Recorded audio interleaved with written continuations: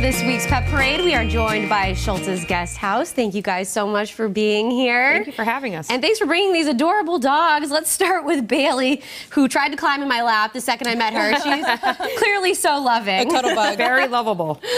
What's her story?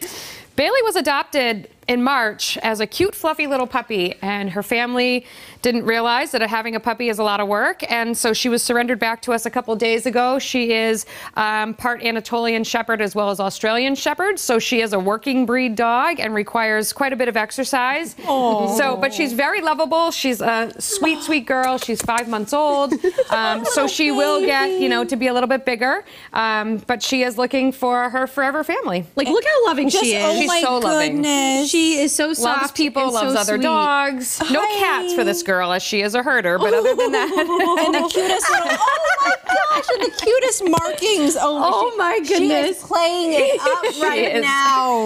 So, what kind of oh family are you looking for for her? Something. What will we'll stick with her? an active family. If you have, you know, older kids and you guys are campers, hikers, you know, just a family of likes to do activities that are outside and lots of exercise, she'll be a great dog. She already has basic commands. She knows to sit, stay, down. She's house trained. She's crate trained. So she's really the full package if you're looking for a dog who um, is a little more active. I have never met a dog who just knew what to do. just everybody's heart. She's hamming it up, hoping she's going to find oh her family. It's working on me already. No, oh look, I my don't want to let you go. We do have two more puppies with us. It's a girls' morning here. It at is a girls, a girls' morning.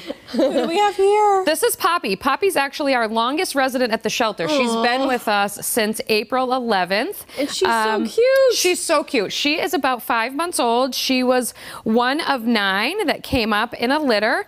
And um, black dogs typically get adopted last, which is terrible. But So Poppy terrible. is not going to be very big. She'll probably be about 40 pounds full grown. But she's a very friendly, lovable girl, um, likes everybody. And she is looking for a home that just has, you know, active family, lots of love to give.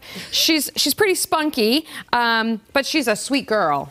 And the patience and understanding to know that puppy life is tough. Puppy life it- is tough. But you get through it. You do, and you get rewarded tenfold. I mean, she's very sweet and very lovable. and what about this last one down here? This is Willow. this is our sweet girl Willow. She's so cute. she's kind of a lazy loaf. She's been cracking us up. Competing for like the spotlight this morning. She's about three and a half months old. She came with a litter of seven, and there's a couple of those left. She just arrived with us two weeks ago. Um, she's going to be medium size, probably between maybe 50 to 60 pounds, full grown, and um, she's looking for. Uh, she could really. Pretty much be in any family. She's she's pretty easygoing dog, loves everybody. Um, so yeah, she's just ready to find a home. Oh my gosh, they're all so cute. They'll make a great family Yes. member. They will make a great addition to any family. They're they're going to be great dogs. And so, for anyone who's watching and they're interested, how do they get in touch with you guys? They can reach out to us on our website. It's sghrescue.org. All right, Shultz's Guest House. Thank you so much for coming. Thank you for having us.